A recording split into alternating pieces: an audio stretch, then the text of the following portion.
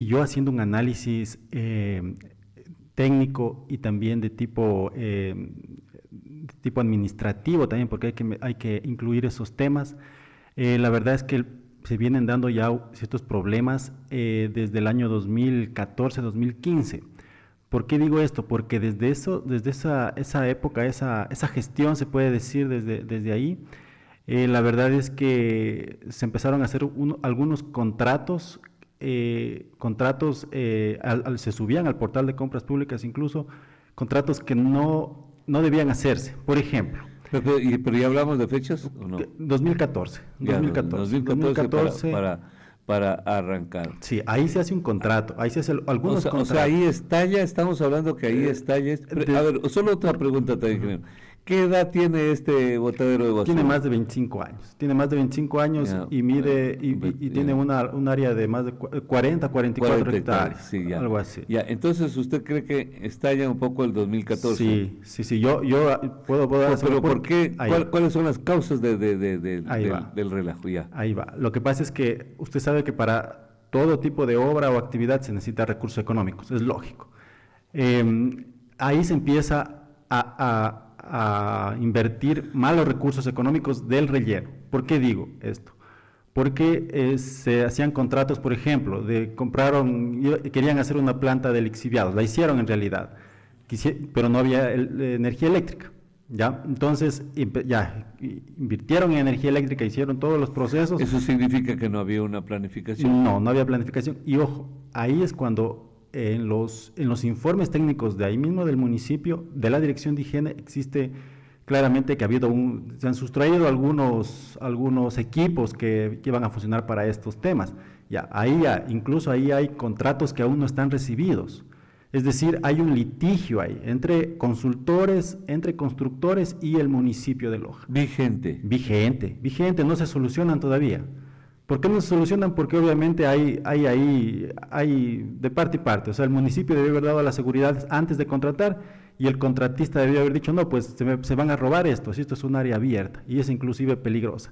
Entonces, ahí es cuando empieza, digamos, este asunto de tipo administrativo.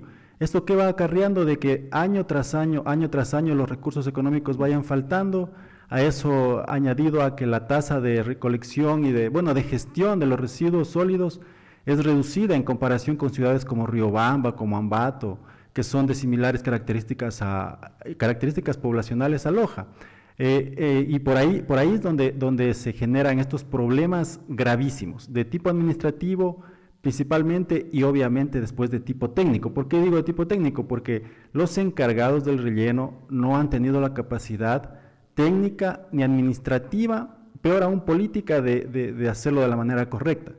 Eh, yo siempre he dicho, para administrar ese relleno o ese botadero de basura actualmente, eh, se necesita un ingeniero civil, incluso un ingeniero civil ambiental. Yo le comento que en mi experiencia en... ¿Existen? ahí va. aquí en Ecuador no existen. No existen como, como preparación de pregrado. Como, tal, Como tal, ah, exactamente. Es que en otros países hay, por ejemplo en Chile, donde yo viví tres años, existen ingenieros civiles ambientales que no hacen puentes, ellos hacen plantas de tratamiento, hacen rellenos sanitarios, o sea, son exclusivamente para saneamiento ambiental. Subespecialidades. Sí, pero son es pregrado, o sea, son ingenieros civiles ambientales. Mm, Eso se necesita acá. Eh, bueno, a, la ausencia pues de, esa carrera acá debe, haber un ingeniero civil. El, tengo entendido que el que está actualmente en no sé qué, qué, qué, título tendrá, pero la verdad es que no está haciendo bien las cosas porque por lo menos... No sería nada extrañarse que sea veterinario también. no, no, no lo sé, la verdad. No lo sé, no, tampoco. No, lo conozco. Pero, pero la verdad es que se necesita gente especializada en esos temas, pero también recursos. Yo eso también quiero quiero añadir. De pero, pero, pero, sí, pero el asunto es no perdernos ingenieros como habíamos convenido. Entonces el 2014 estalla esto. Estalla. Estalla porque empiezan a presentarse las primeras eh, eh, contrataciones, falencias también y, empieza uh, un poco ya a colapsar seguramente el relleno. Entonces su capacidad, su vida útil. Eh, le contaba de mañana que un breque dice, ¿por qué se salta? No, pues ya cumple su vida útil el breque y salta. Dice, ¿y a qué tiempo lo tiene? Le digo como 40 años, entonces ya, pues hermano, dice, ya tiene que saltar, tiene que saltar, el, el, o sea, ya, ya se acaba, como un foco, como cualquier, o sea, todo se, se, se, agota, todo se acaba, todo, hasta las cosas. Eh, entonces, el, relleno sanitario en el 2014 se advierte en falencias. Sí, graves, graves. graves. Eh, ya obviamente los lixiviados, por la, obviamente por el crecimiento poblacional, los lixiviados empezaron a aumentarse, eh, ya se empezaron a ver, es como, como un carro viejo, un carro viejo ya empieza a dar fallas y uno dice, no, pues ya, hay que o chatarrizar o, de alguna manera hacer alguna, alguna reparación o cambiarlo. O sea, es así, así de fácil es el tema. Y de ahí sigue el tiempo, el tiempo, llegaron, yo llegué en el 2019 a ser zonal del Ministerio del Ambiente, hice múltiples advertencias, múltiples, ya todos los rellenos o botaderos de basura de la pero ahí no creo que haya dado resultado. Mm, más bien, el único resultado que dio es que me sacaron. Es que eso le iba a decir, no creo porque ahí en cambio los alcaldes lo que hacen, es que ya lo hemos vivido, lo hemos visto. ¿Qué hacen los alcaldes? Sobre todo lo que yo conozco. inmediatamente llama a Quito, lo llaman al ministro que este funcionario está aquí abusivo, que está cumpliendo consignas para bañar. ¿Sí o no, ingeniero? Así mismo fue. Ya, pero es como, como, usted si nosotros los conocemos como la palma de la... Y todos, rápido la llamada, Quito yo soy más poderoso y este quién es. Y está cumpliendo consignas políticas, el sicariato político. Y entonces deja ahí nomás las cosas que se vayan agravando, que se vayan agravando y no damos ninguna respuesta. Exactamente, entonces fue así, me, llamaron de Quito, exactamente como usted dice, de la Subsecretaría de Calidad Ambiental y me, y me supieron mencionar pues que no, pues los alcaldes están molestos contigo porque estás haciendo, estás visitando mucho los, los botaderos. Pero, pero, era, era, era mi deber, pues era mi deber, le digo, a ver, a ver, subsecretaria, es mi deber, tengo que hacerlo. Bueno, entonces me dijo, no, más bien ya el ministro dijo que salgas. Y el ministro después de dos, de dos semanas también salió no sé por qué, pero salió. Entonces, son cosas pobre que país, no, pobre país, ingeniero. Entonces, ahí, ¿qué, qué, cuál es el costo del precio? Dilatar y dilatar el problema. Exactamente, ese es el, costo altísimo que, hoy por hoy estamos pagando. Se dilata, se dilata hasta que, como usted dice, salta el break, o sea, ya se quema, mejor dicho. Exactamente, colapsa, ¿no? Claro, y es un problema gravísimo. O sea, yo sí le escuchaba al, al, al señor asambleísta y sí mencionaba que es un problema ya de salud, de salud pública, pero yo, yo creo que poco pueden hacer los asambleístas, poco pueden hacer porque, a ver, porque ellos, eh, claro, pueden fiscalizar, pero eso se va a dilatar mucho, pasarán dos, tres años y se va a quedar ahí. La solución es, es obviamente hacer acciones que probablemente son inclusive antipopulares por, por parte del cabildo. La tasa de, recolección de basura tiene que subir, definitivamente con un, con un estudio técnico, eminentemente técnico, que lo pueden hacer los mismos funcionarios de ahí. Ya, eso por un lado. Y obviamente hay que, hay que reubicar ese, ese relleno sanitario. Y ahí sí hay que, hay que poner algo súper claro. La reubicación del relleno no es para nada sencillo. Eso es un proceso que se tiene que dar. O sea, hay que sanear primeramente todos los procesos administrativos que tiene el relleno. Porque el relleno sanitario tiene una licencia ambiental y toda licencia... ¿Quién se la otorga? El Ministerio del Ambiente. Y, ojo, todo. consecuencia, el Ministerio del Ambiente puede sancionar y, tiene que sancionar en caso de sanción, pero no es la solución la sanción. Entonces, eh, esto, esto, esto acarrea de que se tiene que, seguir todo y cada uno de esos procesos para poder sanear esa licencia ambiental que está llena de inconvenientes. ¿Por qué? Porque, bien, le cuento, el relleno sanitario en sí debería tener una sola licencia ambiental, una sola, integral, pero tiene cuatro. Y eso, que, y eso, eso se, se, se, se los, ¿De dónde proviene? Verá, de la planta del exhibiado, hay uno. Otro hay de ah. los biopeligrosos, otro del, del, en sí del, del, botadero, del relleno en sí. Y la otra no recuerdo bien de cuál era, pero... O sea, no, no, no, pero que casi le entendí que cuatro licencias de diferentes instituciones. No, no, no, de la misma institución. De la misma institución para, tal cual como es un RUC o como es un registro sanitario. Exacto, pero ese es un eh, error técnico, ese es un error técnico porque es un solo proyecto integral, debe tener una sola licencia. Y yo no sé por qué en el 2014, por esas fechas mismo, sacaron, bueno, yo, yo quiero, voy, voy, a dar mi opinión personal, yo creo que fue para dar, para dar consultorías. Y cada consultoría cuesta, obviamente. Ah, Entonces usted da la consultoría, sácame este permiso. sí, ya, bueno, ya. Entonces hay cosas así. Era, o sea, las consultorías son una, una forma subliminal de, de de favorecer. Ya, ya lo sabemos, eso, eso sí lo sabemos. Sí, pero en, esa, sí lo sabemos. en esa época el Ministerio del Ambiente debió haber sido claro y decir, a ver, señores, ustedes no, a ver, definitivamente ya tienen una licencia, quieren, quieren añadir una actividad adicional a eso, ya pues añadámosle la misma licencia y se evitaban sacar otro permiso. Sí. Incluso, mire, yo cuando estuve en el, municipio tuve que dar de baja una de esas consultorías porque se había dado un anticipo de más de 38 mil dólares. Y el, y el ingeniero Bailón en ese tiempo eh, me dijo, Benjamín, yo necesito, así de la forma, así como él era, firme y, molesto, me dijo, yo necesito que hagas que se devuelva ese dinero. Y, me dice, yo quiero que vos seas administrador de contrato, así tal cual. Yo fui administrador de ese contrato y tuve, ahí sí, cuando uno está ahí... A ver, pero, pero que quede claro, el ingeniero Bailón quería que le devuelva esa plata al consultor. Ah, no, al municipio de los... Ah, no, o sea, que, se recupere ese dinero. Que se recupere ese dinero para, eso, eso lo está hablando el año 2021 que se recupere ese dinero para, para, obviamente porque estaba mal dado, y, así como hay mal dados de esos, hay un montón de, de, consultorías. Pero ojo, ahí va eh, la habilidad técnica y la habilidad también en administración pública, porque un técnico, un director, un coordinador, tiene que saber también de administración, de compras públicas. Si es que no sabe de eso, olvídese, estamos perdidos. Si, si usted me dice, a ver, usted sabe de, temas ambientales, sí, yo sé, pero también tiene que saber de otras cosas para entrar al, municipio, al, ministerio o cualquier institución pública. Ojo, ese es el grosso error que se está cometiendo y se ha cometido durante años en todas las instituciones públicas. Necesitamos gente proa, que de verdad vaya a ayudar o sea, y no, no, no, no, aumentar tanta la burocracia. Eso es un problema gravísimo que se lo viene dando ya desde mucho tiempo. Entonces se logró, doctor y ciudadanía, yo sí quisiera decir que se logró recuperar, no es mucho dinero, pero es, o sea, es, es, es dinero del pueblo, 38 mil dólares aproximadamente de ese contrato que estuvo mal dado. Y así debió, debió haberse hecho ya con un montón de contratos, pero como le digo, eso lleva tiempo. A mí me llevó más o menos unos seis meses lograr todo, todo ese tema porque hay que presentar todos los informes. Ya, ahora, ingeniero, entonces eh, comenzó la debacle de, este, de este relleno. Y ahora, usted dice que ni los asambleístas eh, pueden hacer mucho, peor el chapulín. ¿Por dónde le ve la, la salida? Porque es un tema de emergencia y por eso lo hemos eh, invitado, molestándole su, su, tiempo, aprovechando que ahora tenía un espacio. Y entonces, ingeniero, ayúdanos a salir de esto porque estamos en una situación de emergencia eh, sanitaria. Ya, y ahí hay que decir claramente.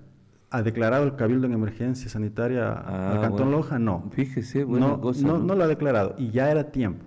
Ya, cuando se declara en emergencia, obviamente los recursos económicos van enfocados a esa emergencia y se deja de, invertir en cerramientos de canchas, en pintura, en casas comunales que desde mi punto de vista no son necesarias, casas comunales que valen, que valen creo que 90 mil, 94 mil dólares una en un, en un barrio.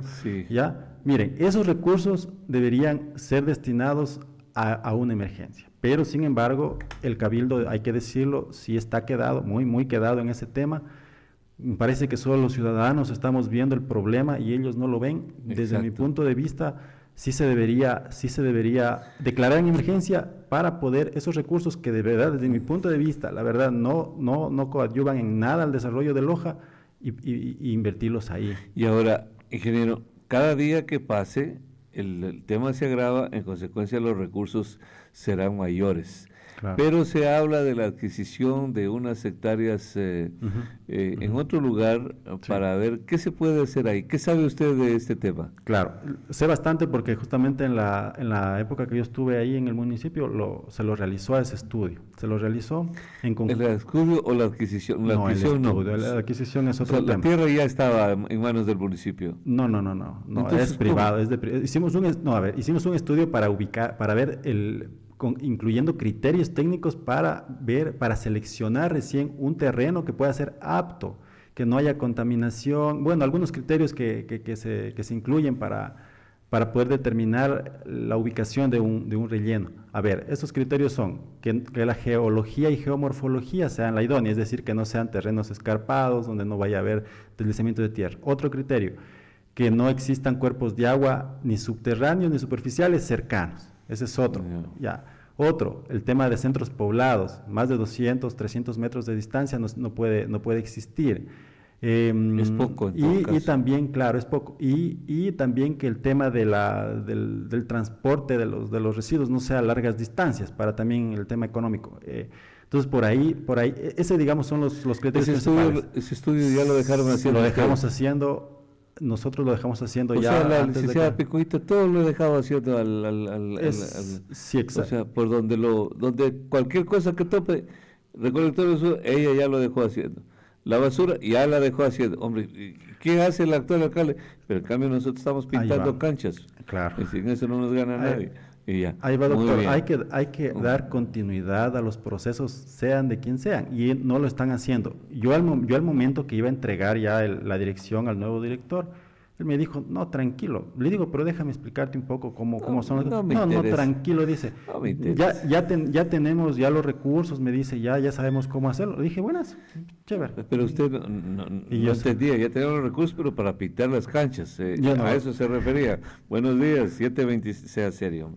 Eh, 725-400, le escuchamos. Adelante. Buenos días, doctor. Ya pasaron cuatro exdirectores del Ministerio Zonal del Ambiente y fueron funcionarios también del municipio en su tiempo, en diferentes administraciones. Y hasta el día de hoy no se soluciona el problema del relleno sanitario, doctor. Gracias.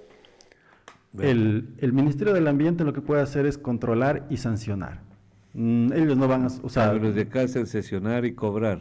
Claro, ellos sí, ellos pueden solucionar. El Cabildo de Loja puede solucionar el grave problema. Son los únicos, son los únicos que pueden hacer algo con respecto al relleno para controlar los recursos económicos, de que no se, no se inviertan en otras cosas.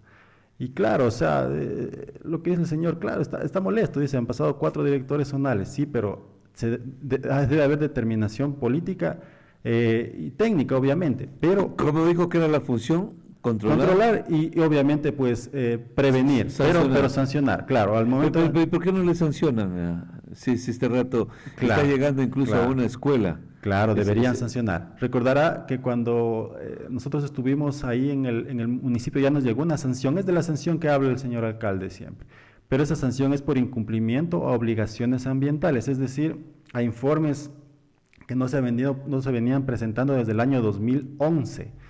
O sea, hay un, había un, había un, una, una falta de interés técnica increíble. Imagínense, era 2021 cuando, hubo, cuando, fue la sanción y, no se, y no se presentaban informes técnicos de cómo está el, relleno sanitario desde el 2012, 2013. A ese nivel habíamos llegado. O sea, no les interesaba a los técnicos que estaban ahí desarrollar o cumplir, digamos, con lo que, con lo que emitía el, el ministerio. Entonces, el ministerio esperó cerca de 8 o 9 años y después ya emitió la sanción.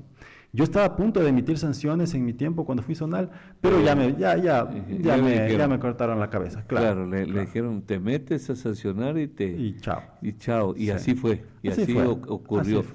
Y, con eso, como decíamos, otra vez, lo único que hemos... Eh, esconder la basura bajo la mesa y nada más. Y el problema continúa y se va agravando. ¿A qué niveles cree usted, o sea, qué cree usted que esperaría esta administración para reaccionar con el botadero de basura. Con, una infección sanitaria grave, o sea, de los ciudadanos. Con eso estamos complicados. O, o, Dios no quiera, fallezca un trabajador. ¿Por qué le digo esto? Porque están trabajando. Pero fallezca en qué condiciones? A ver, a ver, ahí se manejan desechos biopeligrosos, es ah, decir, los rellenos que salen de los hospitales, de las clínicas. Ya. Ojo, hay bueno, sí los están tratando, sabemos. No, hay, la única, la única forma de tratar es con un autoclave.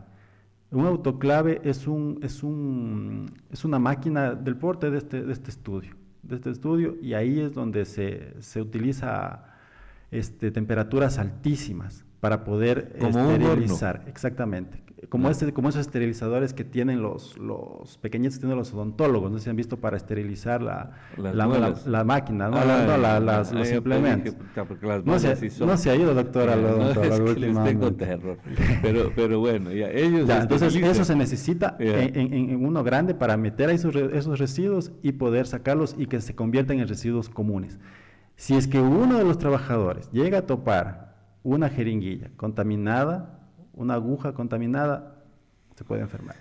pero no va a morir de... No, de inmediato no, de inmediato no. Pero, pero, pero Vamos. Ya, entonces, entonces, ingeniero, ahora usted da Paulo para eh, arribar a la siguiente pregunta. ¿Por qué no interviene también el Ministerio de Salud? Debería intervenir. Debería intervenir de manera puede intervenir. Sí, sí, debería intervenir de manera ¿qué, ¿Qué estará esperando?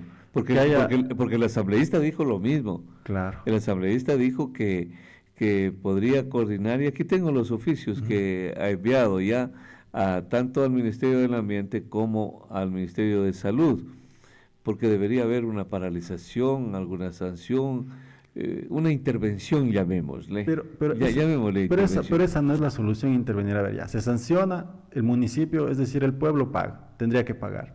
Paga, paga, paga la sanción y, y, ya, o, digamos ya lo cierran al relleno, lo cierran y, en cambio, ¿qué pasa si declaran emergencia sanitaria? Los recursos van a ir. Aquí se necesita recursos, no hay otra manera. ¿Para qué? Para solucionar tantos problemas administrativos que tiene el relleno. ¿Quién tendría que darle los recursos si declaran emergencia sanitaria? Nosotros mismos, los, los lojanos a través, de, a través de los impuestos que pagamos. Pero ojo, es, a eso quiero llegar. Y, y repito, doctor y ciudadanía, sí se necesita que o sea, la declaratoria de emergencia es para, es para que los recursos que se están invirtiendo en otras cosas vayan a donde se necesita. No, no va a dejar de pintar canchas. Yo lo veo bien difícil. Entonces tenemos eh, que no nos eh, queda otra que esperar que haya ya de verdad una catástrofe acá en Loja. Por ejemplo, que haya una contaminación ya más de lo que ya está del río, de los ríos, o sea, o las quebradas también ya. O la otra es que Ojo, y ahí también ya, me acuerdo de otro tema. Ojo, los gases que salen, que se emanan del relleno también ya no están siendo manejados, el metano específicamente. Y ahí sí se puede generar algún tipo de, conflicto, perdón, de, emergencia, de incendio, eh, alguna cosa, porque ese es un gas eh, combustible, o sea, podría llegar a generar algún tipo de inconveniente más grave. Em, eh, otro, otro que ya se está viendo, los, los barrios aledaños al relleno, ya están sufriendo, de, ya, ya, se están enfermando la ciudadanía. ¿Por qué? Por, por los dolores que se emana de ahí. Si usted mire, si usted llega hasta algunos kilómetros ya, ya de verdad es que ya se, se, siente claro, ahora es que este país, es, bueno, esta ciudad nomás, del tercer mundo, el populismo que caemos, hemos caído. Fíjense usted, les están haciendo casas comunales en los barrios que son afectados por el relleno sanitario. Exacto. solo para que vea usted nada más esta, esta situación, ¿no? Como lo que me tocó ir anoche por, por, por Cruz y ver esa carretera, eh, que es urbano. No, no, que la urna para allá, pues es urbano. Y los huecos son infernales. Entonces, pero yo decía, pues si va el señor alcalde a tierras coloradas, arriba, a las canchas, les hace un partido, esa gente es la gente más feliz del mundo. ¿no? Y ignoran, olvidan lo que entonces pan y circo y, y olviden lo de la carretera. Fíjense que los mismos bar, dirigentes de barrios tramitan, gestionan casas comunales, casas comunales en barrios donde ya la gente no quiere y no puede vivir. Decía un amigo, porque para que vea, ojalá que viniera en los años, lo que pasa es que todo le cuentan a uno y nunca viene, para que den testimonio, ¿no? Dice que él en la noche les pone cinta, esta cinta que le llamamos esta cinta escocia, esta, ah, cinta, pone en, las, en las ventanas, en las puertas, para que no entren esos olores nauseabundos. Porque dice que con el viento están, van a dormir, están, están en su cena, están reunidos, y viene un fogonazo de pestilencia. Entonces él dice que gasta en esta cinta, cada vez hay que estarle poniendo, porque lógicamente la puerta se, abre. Pero por eso él dice, una vez que ya cerramos, ya nos quedamos adentro, ahora sí cerramos todo con cinta. ¿Qué le parece esos niveles que hemos llegado por ahí? Terrible, el populismo nos ha acabado en Loja. Yo no sé qué nos pasó, la verdad, a los lojanos. Para mí cuando me dicen lojano es culto. Yo, yo la verdad ya así me, también me, me quedo mejor callado, la verdad, con, ese tema, porque algo nos pasó. Porque no, no, la verdad es que no, no, no, no éramos así los, los lojanos. es que hay mayoría, doctor ingeniero, hay mayoría que se quedó en ese, en ese ostracismo, ¿no? En esa vendetta, ejercen venganzas. Esto, pues, pues es que hubo también malos alcaldes en el pasado. Yo se lo digo con cariño al ingeniero Bailón, al exalcalde Castillo, le recuerdo. Ellos abandonaron también estos barrios, así hay que entenderlo. Ellos abandonaron a los barrios. Fíjense que hasta la campaña anterior había el 60% de barrios que no tenían servicios básicos. Claro. Entonces, ¿responsabilidad de quién era? Obviamente que era de los dos alcaldes que han estado 30 años, uno tras otro, relevándose y no atendiendo a estos, o sea, y se relevaban en el olvido, en el abandono. Entonces viene un alcalde vivísimo eh, que les dice, no, pues miren ustedes cómo están, cómo viven. Nosotros los vamos a reivindicar, nosotros les vamos a ayudar, nosotros vamos a hacer, y se los comen vivos así. ¿Por qué cree que es, por ejemplo, el discurso de los opositores al gobierno? Por ejemplo, unos amigos que yo conozco, que solo pasan denostando al gobierno de Lenin y era de ellos, denostando al gobierno de, de Lazo, pero oídmelo bien, ingeniero gustaban al gobierno de Lazo y casi el 99% de los funcionarios del gobierno de Lazo era de ellos. Pero lo atacaban a Lazo, el gobierno del banquero, infame, inmundo. Ya. Se va este, ahora el, el zapatón, el del muñeco, y el 99% de los funcionarios de este gobierno es de ellos, porque nunca los han cambiado pero lo atacan a este gobierno, lo atacan al gobierno de las... Y todos los funcionarios, los, los, los que gobiernan, los que administran, es de ellos. Mire esa táctica usted. Mire, ¿dónde aprendieron eso? ¿Qué inteligencia? ¿Por qué no somos así nosotros? Esa viveza. Mire, entonces llegó este alcalde y yo leo así, ¿no? Llegó a los barrios, dijo, miren ustedes abandonados, muchachos ahora conmigo ya van a ver cómo Entonces el populismo que tiene discurso fácil convenció, convenció, ¿no? Sí, eso, eso la verdad es, es hace, que, la, que la juventud se aleje de la política, se aleje porque nos... Porque ve, ve que, la, que, se pelean entre ellos. los, a mí me han dicho, yo trabajo mucho con jóvenes, haciendo educación ambiental, con niños bastante, y ellos dicen, no, pues, o sea, los políticos entre ellos aparentemente se pelean, y por detrás están ya negociando, haciendo algunos, algunas cosas para, para, para, asegurarse en algunos cargos. Y eso es cuando uno dice, yo hablo personalmente, digo, qué ganas de dejar votando todo y... No hay cómo, no hay cómo. No hay cómo, no, hay cómo. es como que el médico diga, este no quiere tomar la medicina y yo lo abandono, no. Hay que amarrarlo, inyectarlo y, y, salvarle la, la, la, vida. Ahora, ingeniero, el tema del relleno sanitario, que es tan preocupante, pero es tan preocupante, su propuesta es una declaratoria de emergencia. Urgente, sí, sí, se necesita ya, hacerlo ya.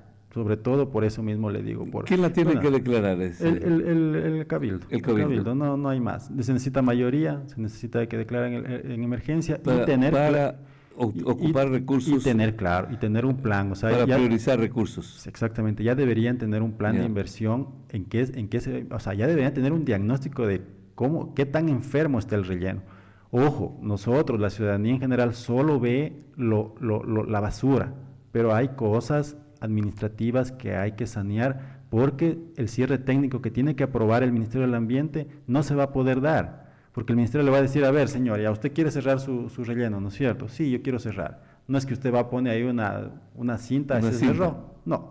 Usted lo que tiene que hacer es un proceso y, y decir, a ver, señores del Ministerio del Ambiente, yo ya tengo listo aquí están mis informes técnicos que no he cumplido desde años anteriores y se acabó. Y ahí sí ellos emiten una, una resolución y listo, y se acabó el relleno y de ahí ellos no tienen que aprobar el siguiente sitio donde se va a reubicar el relleno. Que ahí sí me gustaría decir que nosotros ya identificamos de cinco, a ver, en, primera instancia se tuvieron cinco, cinco, cinco sitios en diferentes, en diferentes eh, lugares de la ciudad. Luego eh, quedaron tres y finalmente quedó uno por las características que le mencionaba anteriormente. Y ahí es donde se, se, debería, digamos, de hacer el relleno. Pero ojo, los actuales directores y coordinadores de, esta administración ya deberían tener clarito lo que se va a hacer. O sea, eh, primer paso, eh, cumplir con estas obligaciones, cerrar estos contratos que están mal hechos, eh, ver ya, tener claramente todo el proceso de compra, de compra o, de, no me acuerdo del otro proceso que se, que se llama para poder eh, eh, tener el, terreno. Tercer paso. Cuarto paso, así, ir poco a poco y tener ya listo lo que se va a hacer, es decir, planificar. Planificar. pero, pero usted usted dijo que ya se hizo estudios. Se hizo, se hizo, pero entonces todavía no hay el terreno y sobre la base de qué se hizo el estudio. a ver, el terreno está, a ver, lo que pasa es que lo que no hay es comprado el terreno. No lo que sí ya tenemos identificado el Lo tienen visto el Ya está el visto. Y ojo, eso ya pasó más de un año. lo que debieron hacer, la declaratoria de, utilidad pública. Esa era la, esa era la, frase que no me acordaba. Se debería de, ya debieron de haber hecho, ya ha pasado mucho tiempo, más de un año. Debieron haber ya, ya se debe tener ya listo. Si quieren cerrar ese relleno, ya debieron, debieron haber ya tener ya listo. O sea, ya me imagino que ya deben saber. no estoy tan claro quién era el propietario, pero creo que es una ex autoridad o una actual autoridad. No estoy tan claro, no lo voy a decir porque, porque probablemente me equivoque. Entonces, eh, ya, yo me imagino que deben tener listo. Ya deben tener el plan, el plan de, de, cierre del relleno sanitario. Y si no lo tienen, ahí sí que, perdónenme, pero ahí sí ya es ociosidad y desinterés por parte de los técnicos que han estado a cargo eh, durante todo este tiempo. Ingeniero, eh, muy bien, está, está clarísimo cuál es el monso operandi, cuál es el procedimiento qué es lo que conviene a Loja y hay que hacerlo urgente porque esto no es una broma, no estamos hablando de la salud humana. Entonces, ya pues si no lo hacen ellos, el cabildo del municipio, pues usted que ha sido una ex autoridad de alto nivel y que es un técnico de alto nivel, eh, eh, sabe y ha hecho las recomendaciones pertinentes, entonces ya queda en manos de ellos. Yo voy a aprovechar para hacerle una, pregunta adicional a, este, que tiene que ver con lo mismo, pero en otras jurisdicciones. Ingeniero, ¿cómo se las arreglan en otros cantones? Están complicadísimos en otros cantones. Si usted va, eh, por, ejemplo. por ejemplo, el de Puyango, pongámoslo por ejemplo, el de Puyango o también el de Celica. Esos son, esos son botaderos de basura no puede ser. Son pero, es, que, lo que pasa es, que, no puede ser, no puede decir usted eso, porque entonces ¿dónde está el Ministerio del Ambiente? Por eso le digo, ya debió haber. Me imagino que ya sancionó. Yo pensaría que ya sancionó. Ahora, no, pues que no basta con sancionar. Claro, no basta con sancionar, debe, hacer recomendaciones técnicas. Aquí va el problema, otro problema. Probablemente ya sancionaron, probablemente ya hicieron recomendaciones técnicas, pero a las autoridades que están no les gusta salir a medios de comunicación y, es, y lo que no se comunica simplemente no existe. Así de fácil. Así, lo que no se dice en los medios no existe. es que es así. es un principio comunicacional. Ya, entonces, eh, probablemente ya lo hicieron, probablemente sancionaron o hicieron recomendaciones técnicas, pero no se hacen presentes. No sé, yo no sé ni quién es el zonal actual. Con eso ya le, le, digo todo. Le, confieso que yo tampoco, excepto si lo veo aquí en el, en el oficio. Eh, los anteriores me cansé de invitarlos y nunca vienen, entonces tiré la toalla. tiré la toalla. Es que es la verdad. Yo sí vine, verá. No, pues usted, por eso, y siempre viene. Aquí está Ministerio Zonal, dice, eh, firma, abogado Félix Darío Romero Ordóñez. Es un abogado. Es, un abogado. Sí. Eh, es el problema. Pues, si en el municipio ponen a un veterinario, ¿Por qué no vamos a poner un abogado acá en el Ministerio del Ambiente? Bueno, siempre ha habido abogados en el Ministerio del Ambiente. Sí, está bien, sí está bien. Sí, sí, sí está bien porque, porque manejan las leyes ambientales que son bien conflictivas. No, no, sí está bien, sí está bien. Tenga la bondad de seguir ahí en el cargo. No pasa nada. Bueno, gracias. Sí, pues hermanos, que está bien que sea del, de, que sea abogado, que sea abogado, pues debe estar ahí. Y aquí está la petición del, del, del el del doctor Humberto Tapia le dice que haga el favor, le dice, de informe si el gobierno autónomo descentralizado municipal de Loja cuenta con la licencia ambiental aprobada por el funcionamiento del relleno sanitario de la ciudad de Loja. No solo con una, sino con cuatro, dijo usted. Sí, sí cuenta, ahí le respondo yo, sí, cuenta. Sí cuenta. Eh, el segundo dice, se informe la fecha de emisión de la licencia ambiental el periodo de validez de la capacidad actual de manejo del relleno sanitario de Loja en relación con su durabilidad. Fíjese lo que hablábamos en antes. Aquí ha estado el doctor. Dice, y, tercero, informe de manera detallada las acciones realizadas en cuanto al seguimiento, control y evaluación que se ha realizado en las operaciones y gestión del relleno sanitario de Loja. Mire que el doctor tiene clarísimo las competencias del, ministerio. Ahí, ahí demuestra que, tiene claro qué es lo que tiene que hacer. Sí, esto le, ha dirigido al, al, al, zonal del de, Ministerio del Ambiente y ya le ha contestado.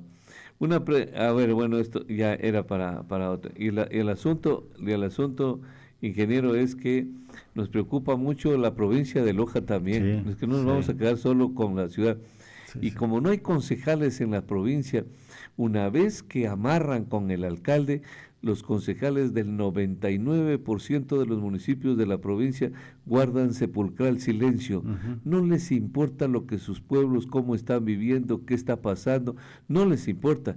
Pero me van a decir, oye, pero los de Loja, el trabajo de ellos también es casi infructuoso. No sé si están amarrados o no, pero su trabajo es infructuoso hasta ahora. Claro. ¿No? Entonces, yo, yo, tuve la, la mala fortuna, digámoslo así, de recorrer casi todos los botaderos de basura de la provincia y los gallinazos no dejan pasar el carro. Así con eso le digo todo. O sea, es a ese nivel de contaminación. O sea, está en la superficie. Exactamente. para que estén los gallinazos es porque no se hace ningún... Ni siquiera se entierra la basura. Le hablo del 2019, no sé si ya... No, pero los vamos a denunciar nosotros, o sea, vamos a hacer, yo ya me voy a poner de acuerdo con usted para tener que hacer un recorrido y, denunciarlos uno a uno y sobre todo al pueblo y, a las autoridades competentes. Pero no lo vamos a denunciar a ellos, vamos, lo vamos a denunciar al director de medio ambiente que no hace nada por eso también, pues. Por eso puede, intervenir, puede, ser que ya, haya hecho algo. Puede ser que y ya. El director provincial de salud también. Claro también deberían intervenir y ayudar. Pero eso le digo, probablemente ya lo, ya lo hicieron, pero como no se comunica, no se dice nada, entonces para, para, nosotros es como... No, pero nos vamos a, constatar. Claro que pero sí. Pero es cuestión de constatar nada más. Claro que sí. Gracias, si Un gusto.